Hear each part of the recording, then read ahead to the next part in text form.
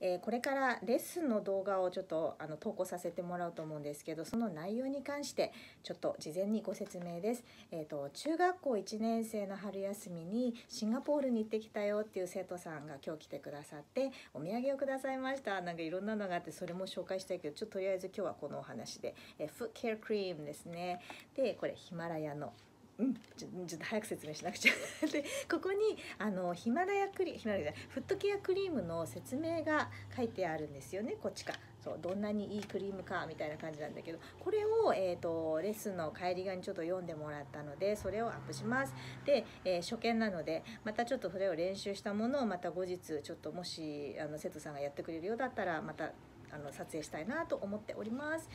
という内容です。で、えっと、彼女なんですけど今中学校2年生になったばっかりで、えっと、4年生5年生6年生この3年間は受験なのでも英語一切なしレッスンももちろんお休みだし英語に触れることなくっていうあのお子さんです。で中学校1年生になってあのもう受験が終わったからって言ってあの戻ってきてくれたんですけどもその頃ね結構忘れてることが多くて、うんまあ、何はともあれちょっと。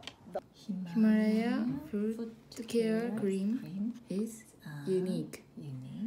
They reuse formula formulation